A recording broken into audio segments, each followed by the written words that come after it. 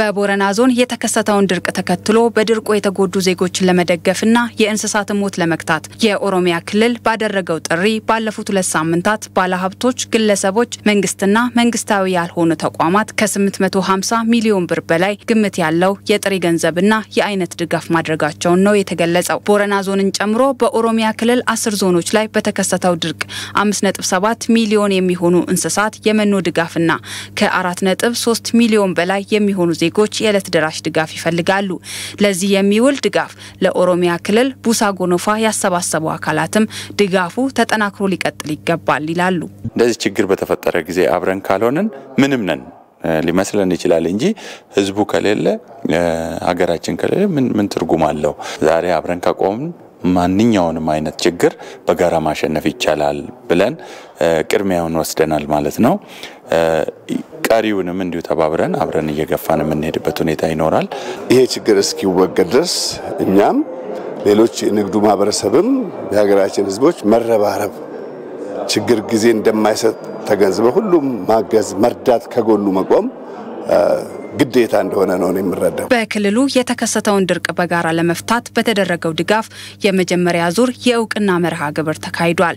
በአጭር ጊዜ ውስጥ በቀረበው ጥሪ ለተደረገው ድጋፍም የኦሮሚያ ክልል ርዕሰ መስተዳደር ሽመልስ አብዲሳ አመስግነዋል። ባለሀብቶቻችን በአጭር ቀን ውስጥ ለህዝባችሁ ተርፏችሁ ሳይሆን በዚህ ባለው በአጠቃላይ ኢኮኖሚክ ፈተና ውስጥ ሆናችሁ ለህዝባችሁ ስላካፈላችሁ ከጎናችን ስለቆማችሁ ትብብራችሁን፣ አንድነታችሁን በተግባር ስላረጋገጣችሁ እጅግ በጣም እናመሰግናለን።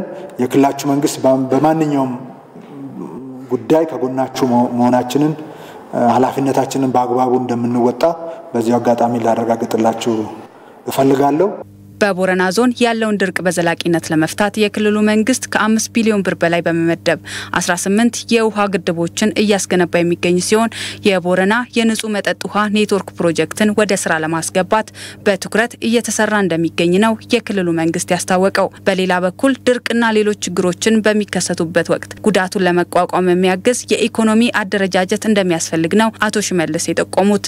ሁለት ነገር ነው ቡሳ ጎኖፋ ኮንሰፕቱ አንደኛ ሰው በጣም ሲቸገር የዕለት ደራሽ ስራ ለመስራት፣ ሁለተኛ ደግሞ ዘር የሚሆን ነገር በመስጠት ከችግር ማውጣት ነው። ባህሉ ይሄ ነው። ይህንን ነው በተቋም ያደራጀ ነው። ባለፈው ዓመት ነው ያደራጀ ነው። እስከ ዛሬ ከዘጠኝ ሚሊዮን በላይ አባል አፍርተናል። አምና የተቋቋመው ጥሩ ስራ ነው እየሰራ ያለው ህዝቡ own አድርጎታል።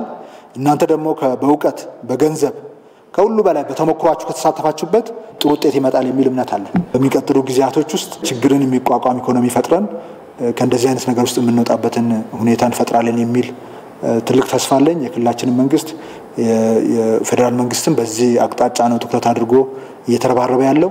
በኦሮሚያ ክልል ባለፉት ሁለት ዓመታት ድርቅ በተከሰተባቸው አካባቢዎች የደረሱ ጉዳቶችን ለመቋቋም 14 ቢሊዮን ብር የገንዘብና የአይነት ድጋፍ መሰባሰቡን ነው የተገለጸው።